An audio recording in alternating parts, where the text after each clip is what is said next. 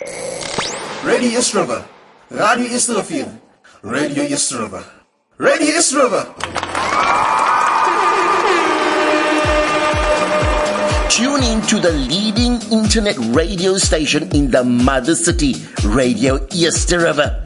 For more information, log on to our website, which is www.radioeasterriver.co.za.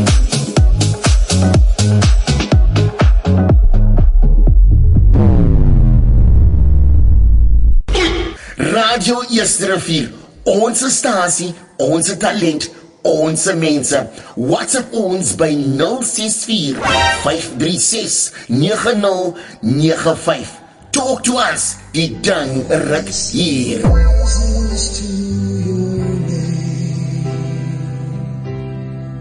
Oh, praises to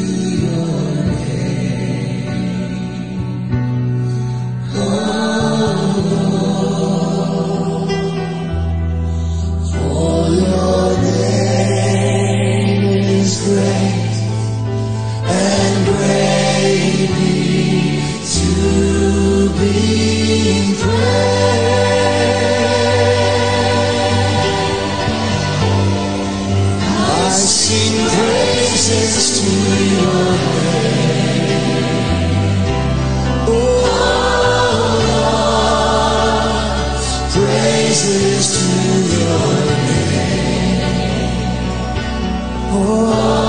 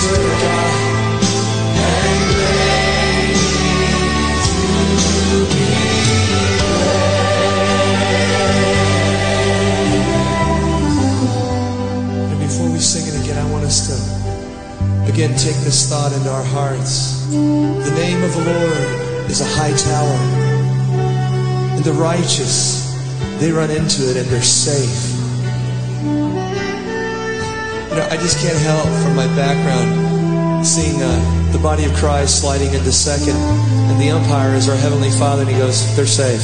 Praise God.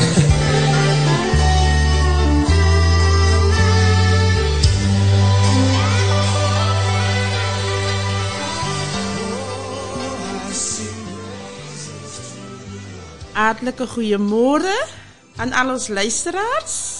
Ja, ons is weer terug. Baie dankie Pastor Elmarie vir die geleentheid om ons weer um hierdie opportunity te gee om weer vanoggend die goeie nuus van blydskap te verkondig. Hartlike goeiemôre, haleluja aan ons gasheer, die Heilige Gees wat ons vanmôre gaan lei in alle waarheid.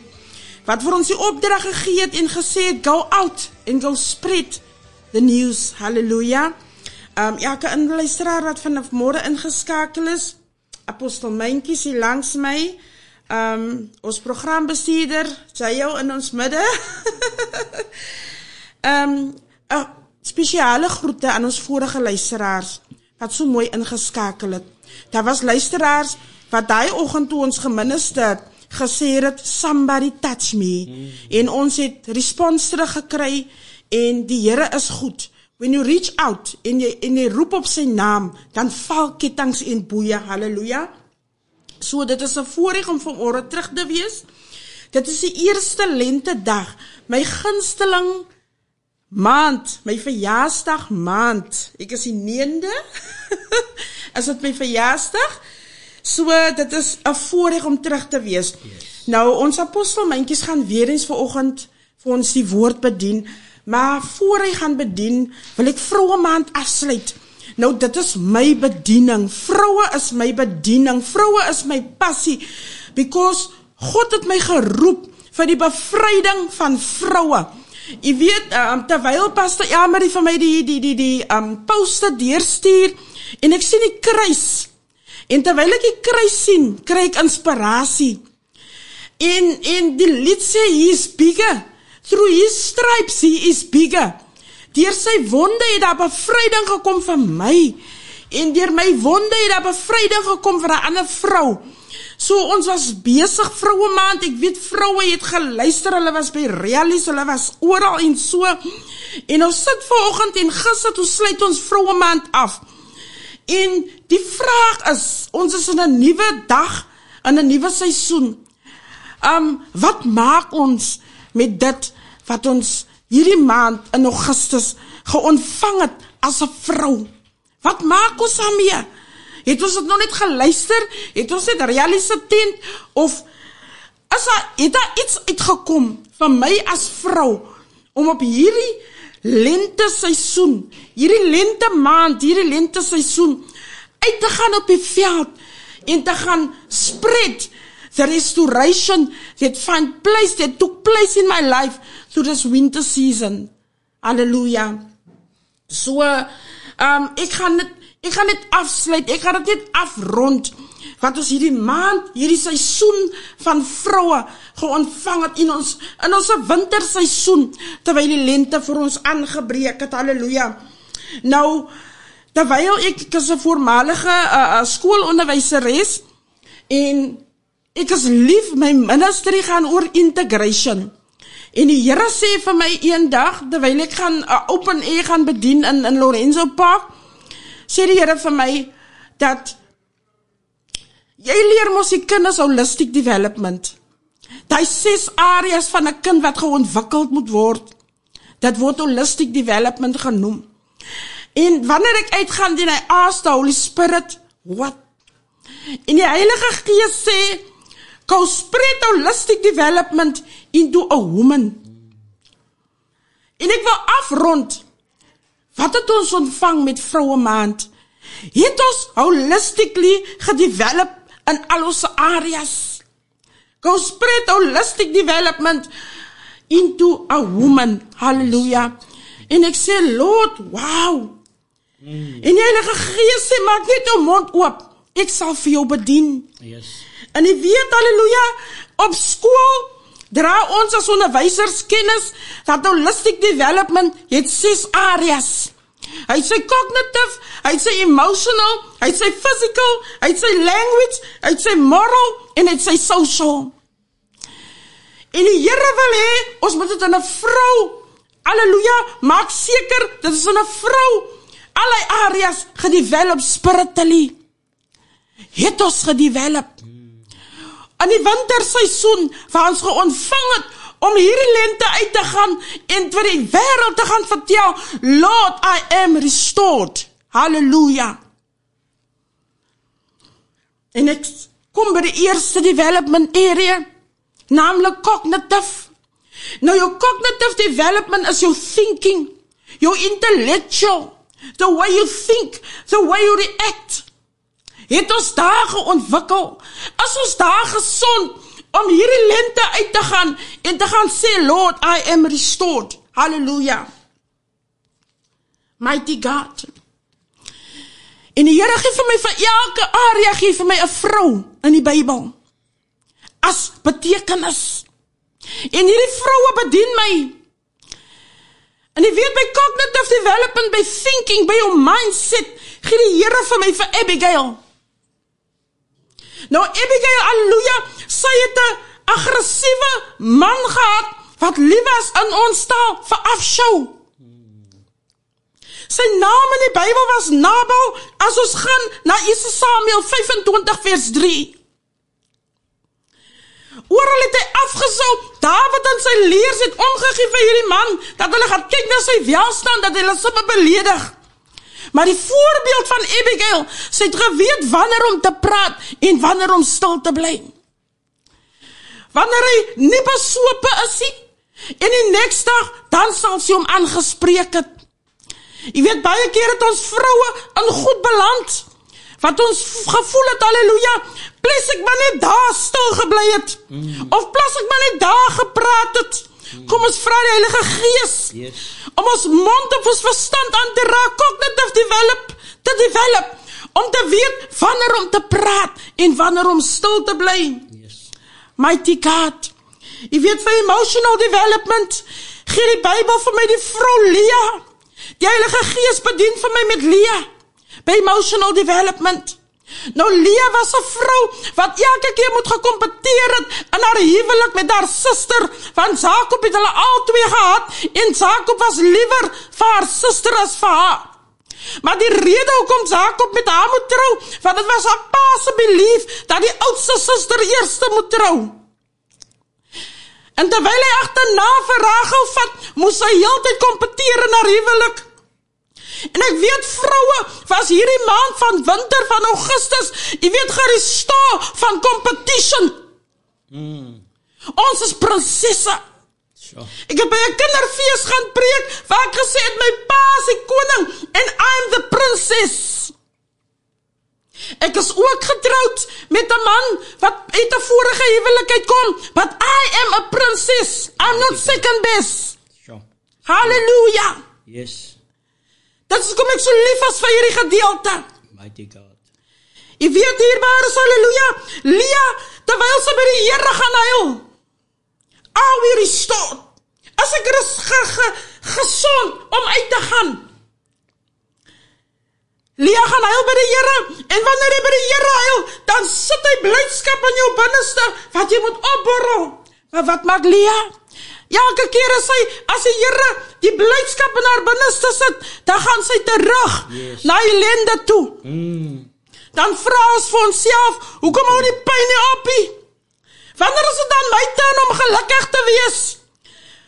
Die rede daarvoor, liewe vrou, as jy nog vanoggend daar sit en hy vraag vra, as die vra- as die antwoord vanoggend wanneer God iets in jou plaas vir blydskap, dan kyk jy terug na jou ellende. Mighty Savior. Hy maak haar swanger die Heilige Gees en sy gee geboorte aan Ruben. Nou 'n kindjie bring blydskap. Daai kindjie wat jy vanmôre in jou binneste mee loop wat God daar gesit het, Yes. het blydskap gebring om hierdie lente uit te gaan veld toe. Maar wat maak sy? Terwyl sy vir Ruben kry, kyk sy terug na haar verhouding en sy sê, God het maar seker my ellende gesien. Yes.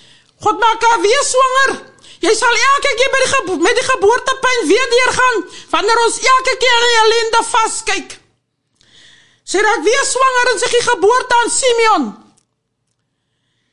En terwyl sy geboorte gee aan Simeon, haleluja, sê sy, hy het maar seker my nou my nederige toestand gesien. Sy raak weer swanger, sy moet weer daardeur gaan. Jy sal elke keer deur dieselfde pyn gaan totdat God, haleluja, totdat jy besef, haleluja, you have to. Jy sal moet blydskap hê. Mm. En hy gee vir Liefie. Dis wel sy derde seentjie kry. Kyk sy weer terug na haar ellende en sy sê hy sal maar nou seker nou vir my begin lief kry. Want ek het hom nou al 3 kinders gegee. En sy gaan weer deur die pyn. Dis 'n boodskap vanoggend. En terwyl sy weer deur die pyn gaan, sit God weer iets in haar binneste en sy kry haar vierde seun Juda. En daar besef sy, ek gaan hom Juda noem. Nou gaan ek God loof. En terwyl sy hom Juda noem en God loof, stop God die geboortepyne. We have to give birth to Judah this morning. To rise up and go out and spread your restoration this morning. Hallelujah. Yes. Die Here is vir ons goed. Mighty Hij is vanmorgen getrouw. Dierbares, halleluja. Ik ga zo vannacht die development areas. Je weet, dat is physical development. Hij vir ons Maria gegeerd. Hij geeft mij die moeder Maria. Maria, halleluja. Het niet zwanger geraakt bij Jozef niet. Hij heeft van Maria toestemming gevraagd om voor Jesus te dra. Sy het nie sommer ja gesê nie. Hy het ge-explain die eierskappe wat Jesus gaan het. En toe stem sy in, sy sal hierdie kindjie dra. En terwyl sy aanstem, haleluja, om hierdie kindjie te dra, gee sy geboorte aan Jesus. Gee ons vanmôre toestemming. Baie van ons vrouens het vanmôre gehoor dat die heerskappy is op sy skouers, maar as weier nog altyd vanoggend om fisical gedevelop te word, om hom aan te neem in ons binneste, om hom te dra, om te hê die binne. Halleluja. Language development gee die Here vir my vir Deborah en Esther, my twee favorite vrouens, outspoken, bold and courageous. Deborah was 'n profetes, sy was die sangeres wat oor die vroue gesing het. Yes. Jy weet haleluja in my profession het ek baie jaloesie, baie teenkanting. Jy weet maar wat ek maak met hulle haleluja wat na my loer. Ek spreek haleluja, ek sing 'n song oor hulle uit. Dan sê die ander kollegas vir my juffrou, ek kan baie by jou leer. Sing 'n song, haleluja, soos Deborah. Deborah het die manne van die Here geremind om God te loof, om God se werk te doen. Are we ready to go out to spread your restoration? Hallelujah. Dierbares hallelujah. By moral development gee die Here vir my is mos jou morele waardes. By moral development gee die Here vir my hallelujah die die vrou van Spreuke 31. Jesus. Haar waarde is ver bo kan korale. Het ons daai moral developments ge, ge, ge, ge ontvang in ons winterseisoen to go out the September the season of spring to go out to the field and preach our restoration. Het ons hy morele waardes van hierdie vrou van Spreuke 31. Halleluja. Jy weet by social development gee die Here vir my die Samaritaanse vrou. As ons sosiaal geontwikkel, kan ons uitgaan vanoggend, haleluja, en sê ons is socially gedevelop, haleluja, met hierdie Samaritaanse vrou. Die Bybel sê die 6ste uur van die dag, dit moet 6 uur in die oggend gewees het, gaan sit sy by die put. En so ontmoet hierdie man. Wat maak ons daai tyd van die oggend as vrou? Sy sit by die put daai tyd van die oggend en sy ontmoet hierdie man. Sy het gedink sy sal vir hierdie man haar skepding moet leen. Van hy het hy. Man te weet, haleluja. Dit is die man wat die skepding nodig het, die, wat vir haar die lewende waters gaan aanbied. En terwyl sy luister, haleluja, wat hy aanbied, sit sy haar skepding neer. Sy dit nie meer nodig nie. Want hy sê toe wie hy is en sy gaan in die dorp en sy gaan verkondig vir wie sy ontmoet. En die vraag is vanmôre met wie kommunikeer socialize jy by die put? Yes. Ons as vroue, baie vroue het vanmôre chommies in hulle lewe. Vriendinne in hulle lewe. Ek het geleer by my eggenoot, haleluja, hy sê spirits drop. Mm. Kyk dat jy die regte crowd is. Kyk dat die regte een saam met jou by die put is wat vir jou water, lewende water aanbied. Kyk wie saam met jou op die pad beweeg. Are you ready to go out? To go spread your restoration. As ons gereed, het ons gesond geword. Mighty Savior, mighty God. Ons sal dit lees in Johannes 4 van die Samarit van die vrou, haleluja. By die put, die Samaritaanse vrou. Yes. Jy weet haleluja, dit is 'n afronding. Dit is net 'n reminder. Julle weet mos wat maak die skooljuffrou ons as ons klaar les gegee het. Ons gaan daaroor en dan kyk ons haleluja soen op se wysing. Ons kyk ons reflek. Haleluja om te kyk. Haleluja, het ons geontvang vir dit wat ons geleer het. Mighty God. May God bless you. May he keep you. May he put his arms around you, lieve vrou, and give you peace. Go out this spring season and you'll spread your restoration. Are we healed? Hallelujah.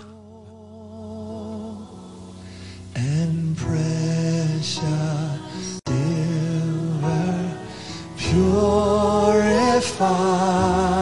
my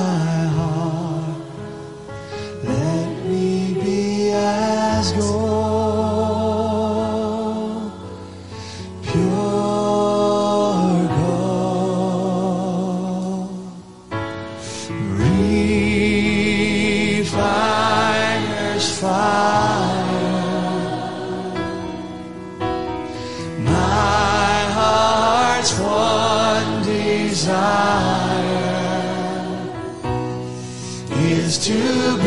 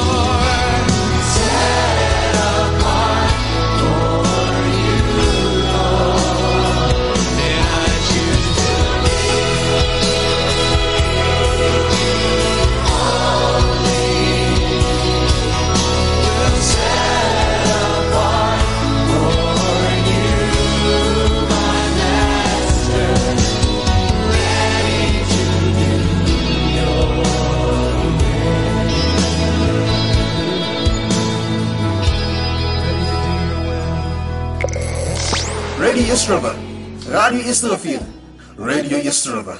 Radio River.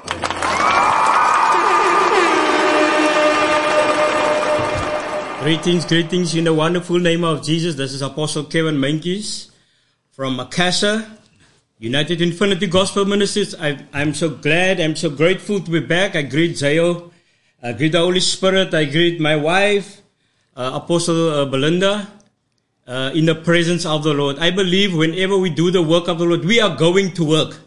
And I just, I don't want to uh, waste much time. I just want to get straight into the word in the book of Micah 12, uh, verses, uh, Micah 2 verses 12 to 13. And I also want to thank, uh, uh, Pastor Elmery, uh, that gave, that gave us the opportunity to, to, to be a voice for the king and to avoid to be the voice for the kingdom of God in a time like this. I believe whatever we do, we are, I'm just a voice. I'm just a nobody. Try to tell anybody about somebody that uh, needs to be saved. Let us get into the word of God in the book of Micah 2 verses 12 to 13.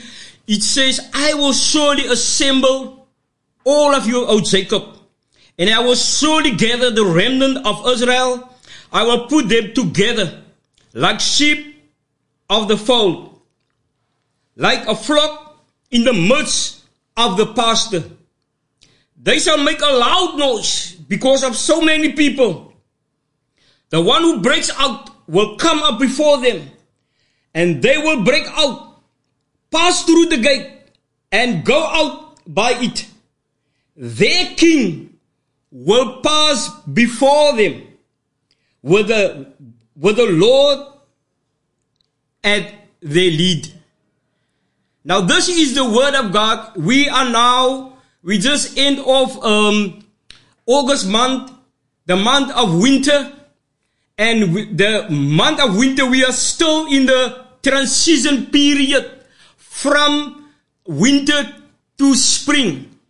And I want to remind you this morning, there is something greater waiting for you. When you get to the month of spring, the month of spring remind us it is the end of something. It is the end of the winter. The first day of spring is the end of the winter. Now in the Bible, the Bible speak about as, as uh, uh, if I can get uh, back to where I grew up in on a farm in Solorispas and stayed on a farm for for for quite a while, and I saw how this uh, um, how, how, how, how this shepherd right in the morning prepare his sheep to go out to the green pastures. But as I read in the Bible, the Bible said that I will surely assemble all of you and I will surely gather the remnant of Israel and I will put them together like sheep of the fold.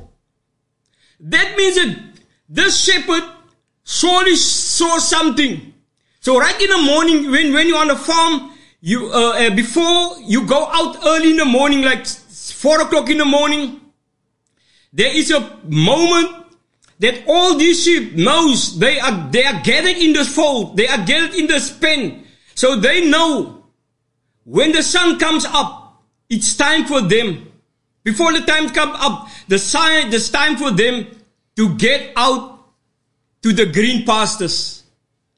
And with the, while they are in this fold, why are they in the spin? They mingle together, they push against each other. Because the gate must be open. And the, the, and before the gate will be opened, you will, you will, you will see that the, the shepherd is not inside of the fold or the pen, the sheep's pen. The shepherd is standing outside, but the sheep is waiting for the shepherd to open the gate of the, the pen. The Bible says like the flock in the midst of the pasture. So they are waiting for something because in the back of their mind there is green grass or fresh grass or fresh flowers waiting for them to, to eat. So what, what the Bible really learned me this morning, that we as the nation, or we as the world, or when you're in this position Or sometimes people are in this position where they are cramped in something. They don't know how to, they don't know how they will get out to the green pastures. There is something outside waiting for you, my brother, my sister. Outside.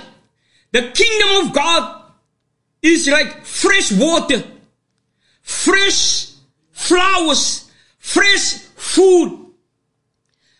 And now what the sheep do is they press and they push against, against each other and sometimes there's no way of escape. The only way they can get out is by getting through. They must get through the gate. The Bible said, and they shall make a loud noise. Yes, when they in when the when the sheep is in the in the in the fold or in the pen, there's no way they can be silent. But early in the morning, they make a noise because why? They know there is something out there. They know there is something that they're gonna benefit from when they get out of the pen. The Bible said, and they shall make a loud noise because of so many people. The one who breaks out, open, and will open and will come up before them. So now the shepherd comes from a distance and he opened the door. He opened the door for the sheep to go to the green pastures. And like most other sheep are, if they can get the opportunity to be before the other one to break out, the Bible says they will break out and pass through the gate. Sometimes the gate is not yet open fully, but they just take the opportunity to break out, like forcing the door out open or forcing the gate open so that they can get to the green pastures. But this is the most, the, the, the nice part of the, of the, of the script where he say, and the king will pass before them with the Lord at the lead. In every kingdom, there is a king in at every sheep where, where all the sheep are there is a shepherd and this morning the bible said because of the green pastures the sheep will break out. There's nothing that can keep them. Maybe the gate kept them inside but there's nothing that can keep them anymore because when the shepherd opened the gate the bible said they will break out. They will use force to get out. And now this morning, because we are in the, in the spring season now, and you will see the flowers outside, you will see the green grass, you will see everything outside. Everything will bloom now. This is now a preparation for the summer. But for, before the summer come, we are now in the season of the uh, uh, uh of the uh, of spring. And this is now your time, my friend, my brother. Those who can hear me, those who can hear my voice, those who are now under the, under the sound of my voice. This is now your season to break out. This is now your time to break through. Jesus Christ is ready to open the door. He opened the door for you. He will open the door for you. But if you are ready to get, to get through the gate. The Bible said that they will pass through the gate to the green pastures. There's no other way. The Bible said that Jesus is the way, the truth, and the life. He is the only way to the Master. He's the only way to the Father. You must get through the gate. You must get through the door. Jesus is the door of life. And all that he can promise you, he said, I will assemble you. I will gather you. Vir jou wat nou miskien ver weggedwaal het. Vir jou wat miskien ver weg uh, wat jy wat moed opgegee het en gesê ek kan nie meer. I cannot I I can't take it anymore. The Bible said there is opportunity because the, the master or the great shepherd is standing before the door. The great shepherd is standing right in front of the gate and he's busy opening the gate for you to come out of anything that you are in. In what position you find you in now, in what situation you find you in now, I don't know. It's only you. In what pain you find yourself in, in what situation, in what corner you uh, you are in right now, I don't know. But all I know is there is an opportunity, and all I know is there is a shepherd standing before the gate, the gate to be opened, and you must take the opportunity to move from the winter season into your spring season, from your inside to your outside, because it's not inside, it's outside. Your solution is outside. Your hunger will be met outside in the field. Your hunger will be met outside where the green pastures are, where the green, where the flowers are. There your hunger will be met. Die Bybel sê in die laaste dag sal 'n honger wees, nie na brood of na water nie, maar na die woord van die Here. Die woord van die Here is die green pastures. Die titel sê of die die die die die die um opskrif vir hierdie uh event is 'n new dawn. Moet nie bly in jou winterseisoen nie. Maar gaan oor na jou lenteseisoen. Die winter is klaar. Jou swaar kry is klaar. Jou wag is klaar. Jy wag nie meer nie. You don't wait anymore. Those who wait upon the Lord shall renew their strength. Yes. They shall mount up with wings of eagles. They shall run and not grow weary. Ek wil vir naam vanoggend sê gebruik die geleentheid om uit te breek. Break out of your situation, break out of your condition.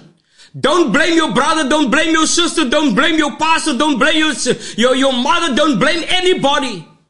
You are inside of this position, the place where you are inside now currently is because you choose to be there. But there is something greater. There's something better. There is something that awaits you. There's something that can feed you.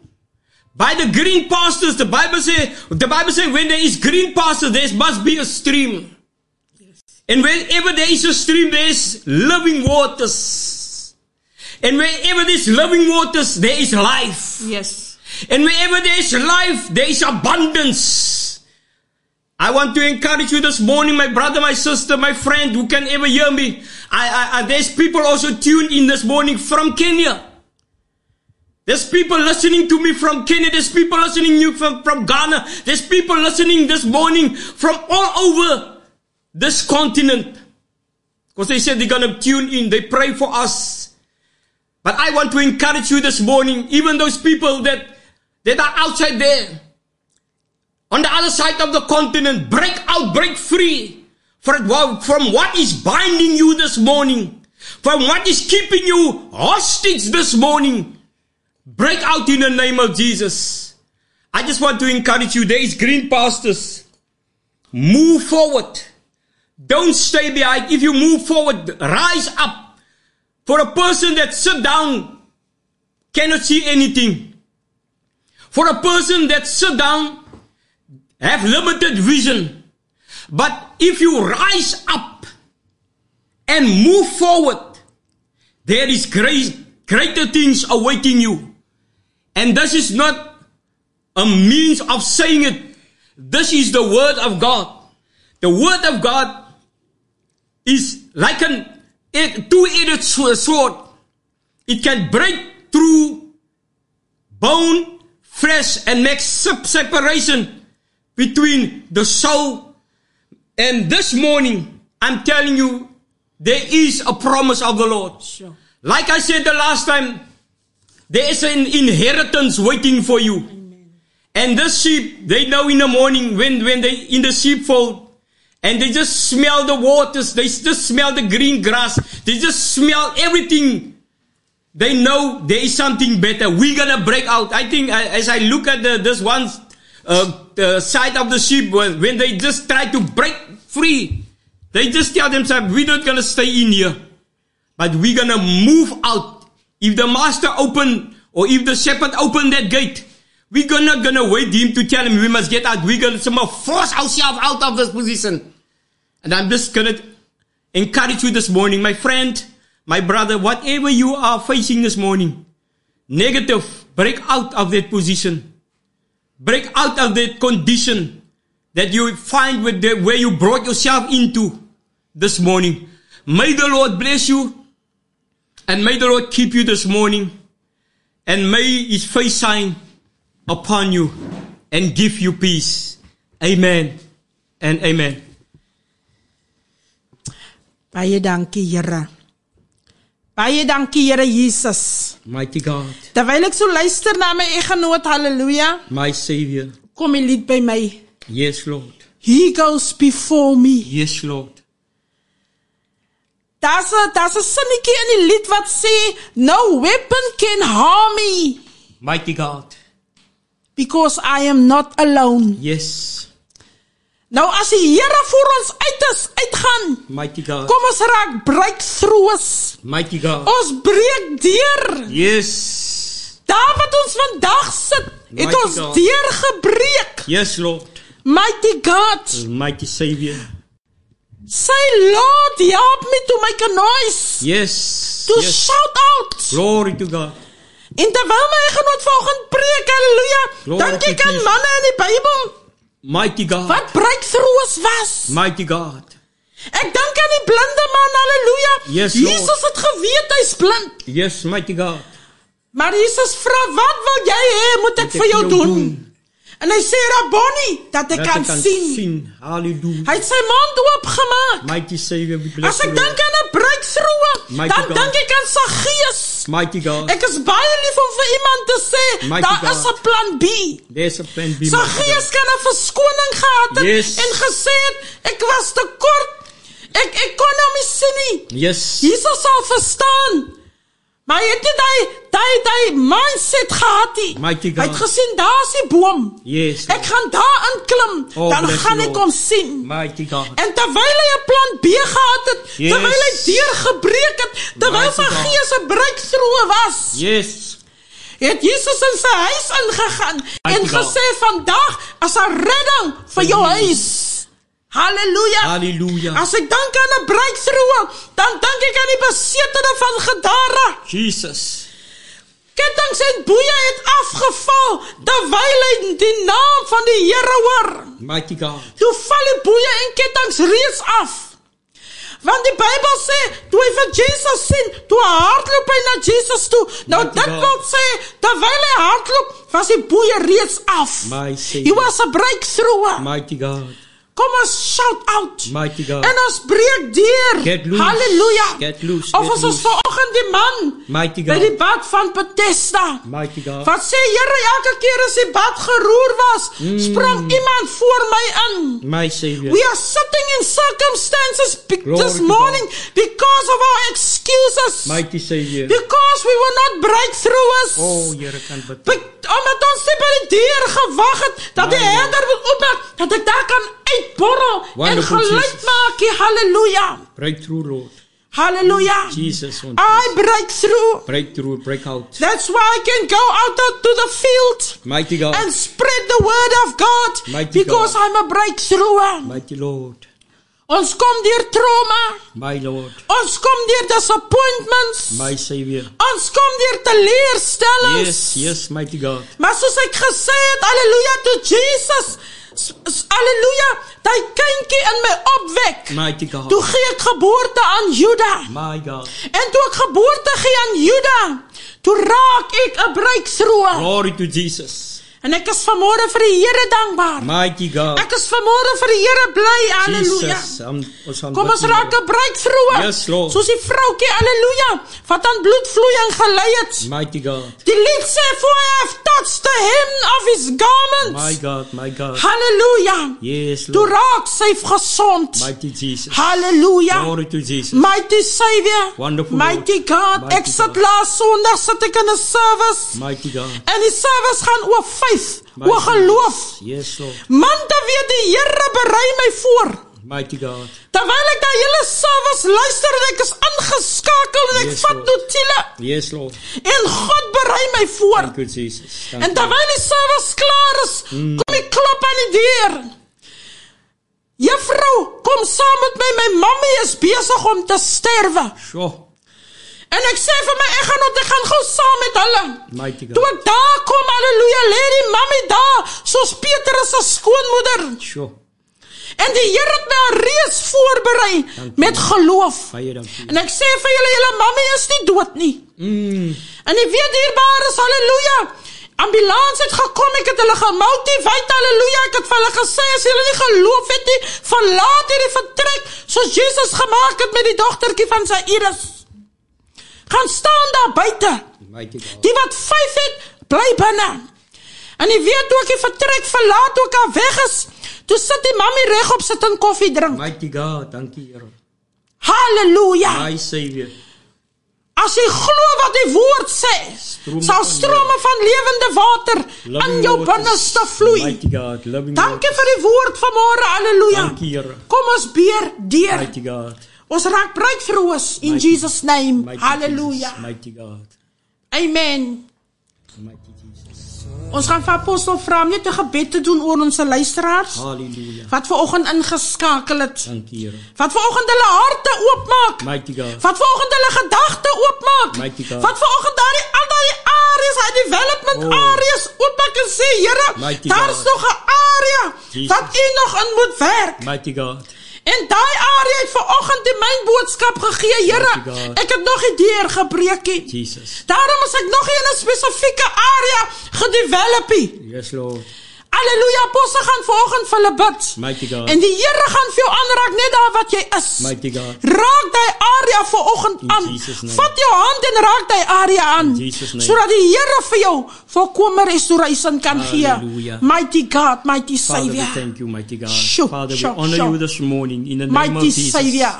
My God, we give you all praise, we Dank give you all glory, we give you all honor. Thank you, Lord. Father, we thank you for this word. Thank you, Jesus. You send your word to heal our Mighty disease. God. You send your word to restore us. You, st- you send your word, mighty God, when there is a cry out. Yes, mighty God. There's somebody God. answering, mighty God. You answered with your word.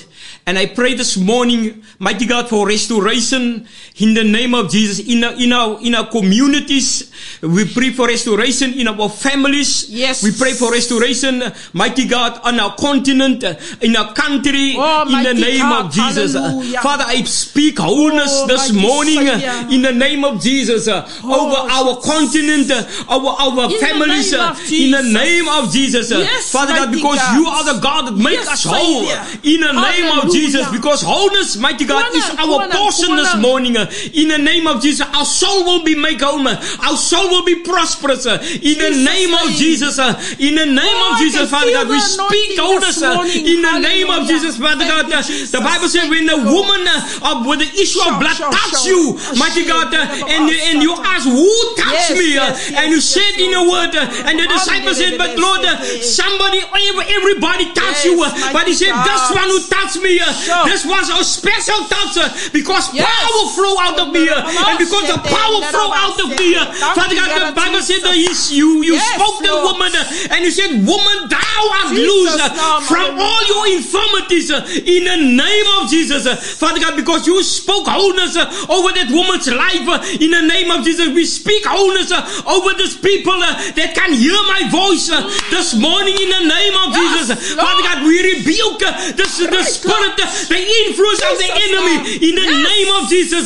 But Father God, we speak wholeness from the children to the grown-ups uh, in the name of Jesus. Whatever they encounter this morning, wholeness will be their portion uh, in the name of Jesus uh, in all categories of their life uh, in the name of Jesus. Uh, and we give you praise. Uh, we give you glory uh, for those mighty God who want to receive you as your, my, as your savior, my, as their savior and, and the Lord this morning. Father God, we pray for them also, mighty God, to open their hearts unto you in the name of Jesus this morning, in the name of Jesus, Father God, because inside of us there is greatness. Mighty God, the enemy tried to kill the child inside of us, but Lord, you call us into greatness uh, in the name of Jesus and into new pastors. Uh, mm. Father God, we move over from our winter season. uh, Yes. mighty God, we prepare us ourselves in this winter season uh, to move in into our spring season. Uh, there is a transition taking place this morning, uh, and the new the sun have come up, mighty God, and there is new dawn in somebody's life. There's new dawn in somebody's life this morning. In the name of Jesus, we give you praise and we give you honor and we give you Oh, glory. Bless the the the, the the ears, mighty God, that heard this word in the heart uh, that receive this word this morning uh, in the mighty name of Jesus. uh, And bless us, Lord. Bless this station, mighty God, that became the voice uh, unto the nation, Yes. mighty God. Yes, Whatever the Lord. plans are, mighty God, for growth, mighty God, Yes, to move, mighty mighty God, God. from this level into the next dimension, mighty God, into this, into the on, on this uh, on, on this platform, uh, in the mighty name of Jesus, mighty God. Bless the plans, uh, bless the leader, bless the any DJ, whatever, mighty God, uh, our owners, mighty God. I pray that you bless them because the blessing of the Lord make us rich and add no sorrow. Father, we honor you, we bless you, and we praise you this morning. you, in Jesus' mighty name we ask. In the name of Jesus, amen. And amen. Thank you, Hallelujah. Lord. Thank you, Lord. Ons bedank elkeen. Ons bedan- bedank die Heilige Gees dat hierdie boodskap vir oggend voorberei het. We step aside and the Holy Spirit set the angels free. Ons is net die mondstukke gewees.